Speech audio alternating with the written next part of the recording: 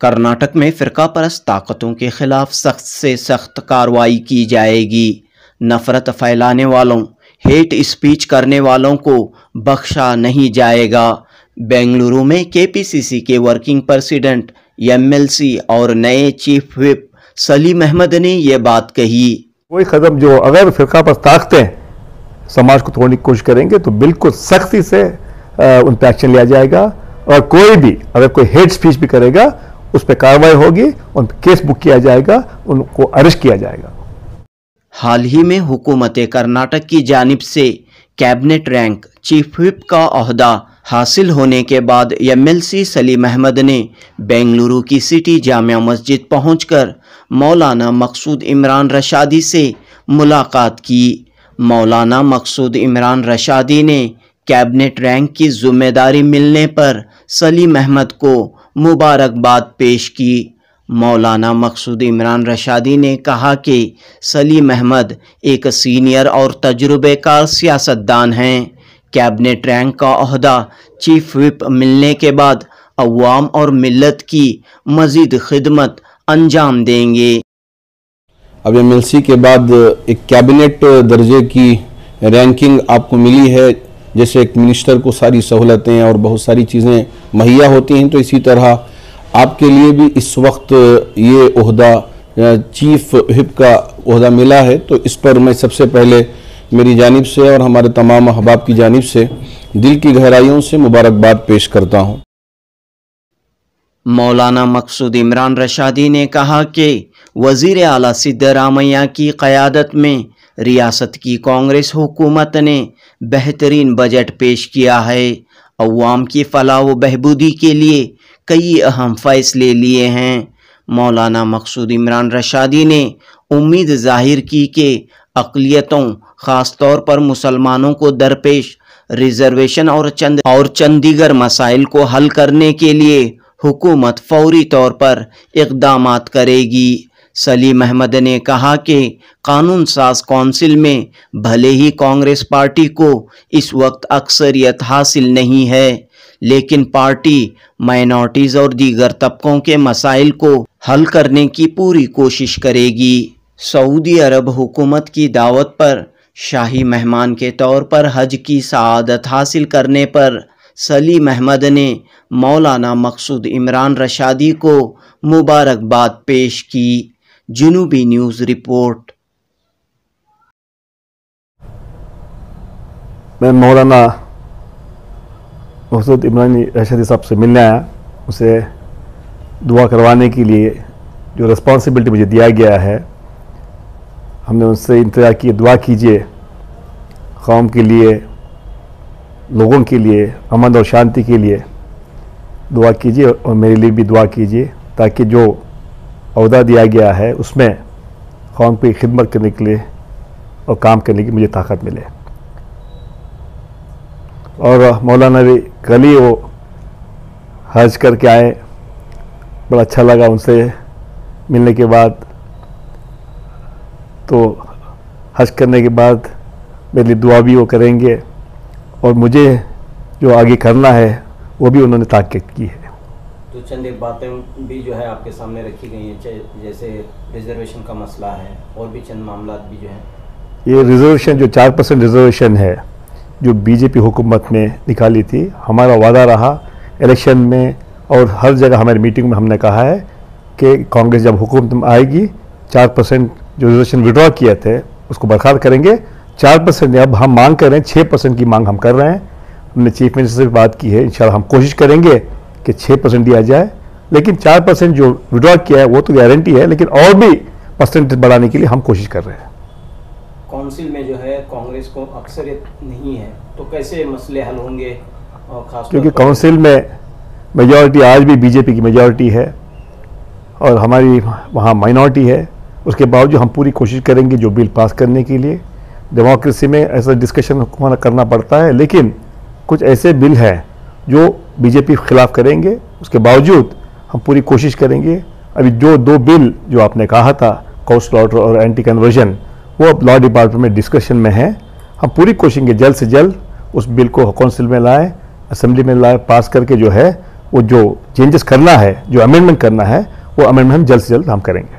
तो काउंसिल के अंदर जो बजट के सिलसिले में भी बहस हो रही है तो क्या कोई पहलू आ रहा है सर इस बजट में आज हमारे यहाँ काउंसिल में गवर्नर एड्रेस पे डिस्कशन हुआ, ख़त्म हुआ। आज असेंबली में गवर्नर डिस्कशन पे आज रिप्लाई कर रहे हैं। कल सुबह chief minister Siddaramaiah ji council में आके रिप्लाई करेंगे। उसके बाद परसों से जो है बजट पे डिस्कशन होगा। सिद्धरामैया जी बेहतरीन बजट दिए हैं। सिर्फ़ मुसलमानों को नहीं, सबके लिए अच्छे बजट दिए हैं। आज कोई भी क्रिटिसिज्म नहीं है। हर तबके के लोग खुश हैं। सिर्फ़ बीजेपी के जो लोग सियासत कर रहे हैं, वो नाराज़ हैं। उनको लगता है कि इस तरह बजट आज कभी किसी को ना मिला। माइनॉरिटीज़ को बहुत अच्छा तरीके से फंड्स अलॉट किए हैं, जितने भी जो आठ महीने के लिए। लेकिन दूसरे कौम के लिए भी जो है काफ़ी कुछ फंड्स दिए, काफ़ी कुछ प्रोग्राम्स दिए हैं। तो इससे इससे सब खुश हैं।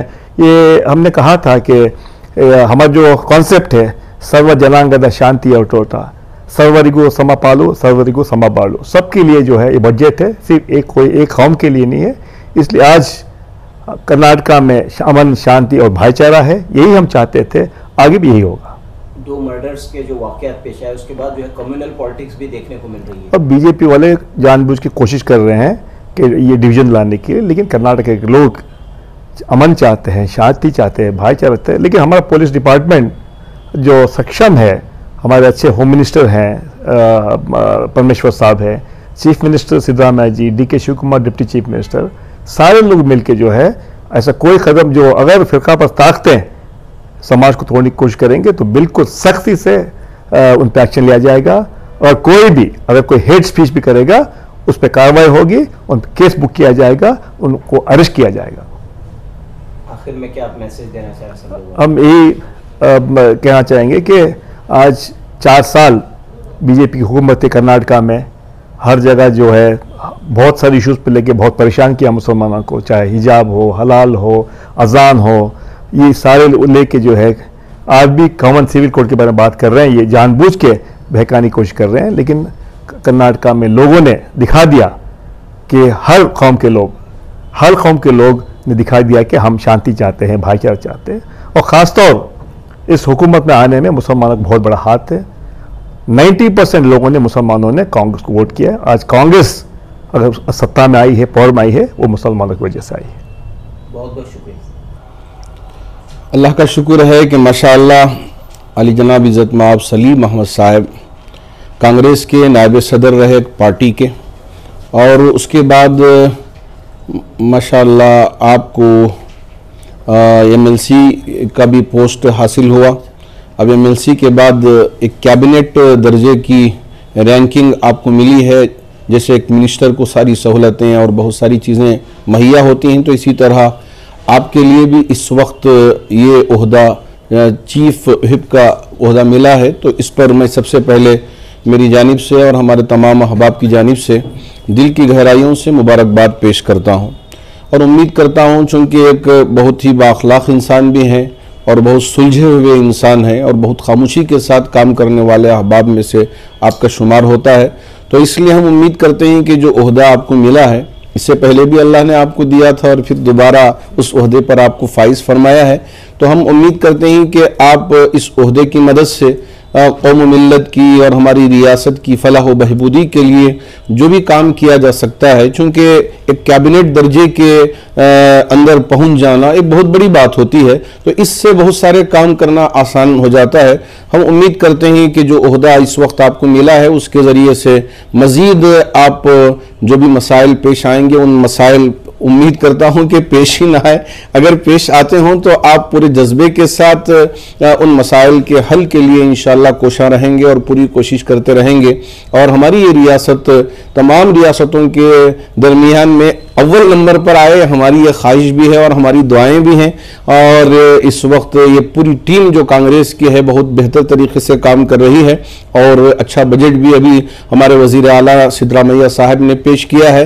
हम उम्मीद करते हैं कि ये सारी टीम मिलकर हमारी रियासत में रियासत में तरक्की की तरफ़ ले जाने की पूरी कोशिश करेंगे। अल्लाह करे कि अल्लाह सलीम साहब के भी और जितने हमारे अहबाब हैं बिजट ज़मीर अहमद ख़ान साहब हों, नसीर साहब हों, और इसी तरह यूटी खादर साहब हों और आ, हमारे रहीम खान साहब ये सब इनको मिनिस्ट्री मिली हुई है मिनिस्ट्री का दर्जा मिला है तो ये सब आपस में इतिहाद के साथ और ऐसे ही जितने एम एल हैं जिसमें रिजवान अरशद साहब हैं और इसी तरह हमारे आसिफ साहब हैं आसिफ सेठ साहब हैं और हमारे इकबाल साहब हैं और कनीस फातिमा साहिबा हैं और हमारे यानी हारिस साहब हैं।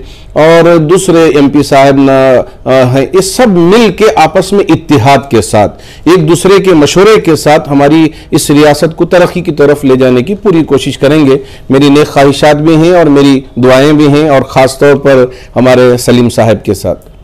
तो चंद एक मसाइल भी जो है बरकरार हैं, जैसे चार फ़ीसद का रिजर्वेशन का मामला है कौंसलॉटर जैसे चंद एक कानून जो सबका हुकूमत ने फैसले लिए थे वो जो है अपनी जगह बरकरार है। हुकूमत बदलने के बावजूद भी कोई इस पर अमल नहीं हुआ है। इस सिलसिले में वज़ीर अला ने खुद भी कहा है और आपने भी इस अभी हमारी गुफ्तगु में कहा कि जो कानूनी तरीके से इन मसाइल को हल किया जाना चाहिए, उसी तरीके से अगर हल करते हैं तो वह सारे मसाइल बहुत आसानी से हल हो जाएँगे। वो उसके लिए कानूनी और जो भी दाव पेश होते हैं तो उनको ये सामने रख कर उसको हल करने की मुकम्मल तौर पर कोशिश कर रहे हैं। तो हम उम्मीद करते हैं कि अब यहाँ टू बी कैटेगरी में बच्चों को दाखिला लेने में किसी तरह की कोई परेशानी नहीं है। इसलिए कि सुप्रीम कोर्ट ने इनको इजाज़त दे दी है।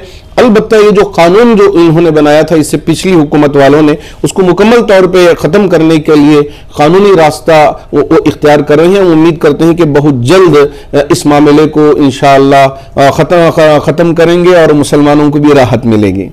और साथ ही साथ जो कौंसल की बिल है अब ये सेशन भी चल रहा है तो इसके ज़रिए जो भी हो सकता है, हम चाहते हैं कि कानून के दायरे में आपसी इतिहाद के साथ बहुत ही मुस्बत अंदाज में, ताकि आगे चलकर किसी तरह की कोई परेशानी ना हो तो कदम को फूक फूक के रखना चाहिए। हम उम्मीद करते हैं कि ये सुलझे हुए अहबाब हैं, ये सब मिलकर इन जल्द अज जल्द इन सारी चीज़ों को ख़त्म करके, अभी आपने देखा कि बकरीद गुजरी, और अल्लाह का शुक्र है कि हमारे मुसलमान भाइयों ने बहुत ही इतमान के साथ ईद को उन्होंने सेलिब्रेट किया और बहुत पुरान तरीके से ईद को मनाया। इसी तरह आगे भी इन सारे मसाइल को ख़त्म करके एक अच्छा माहौल बनाने की ये हुकूमत कोशिश करेगी। हमारी नेक ख्वाहिशात भी हैं और हमारी पूरी कोशिशें भी हैं।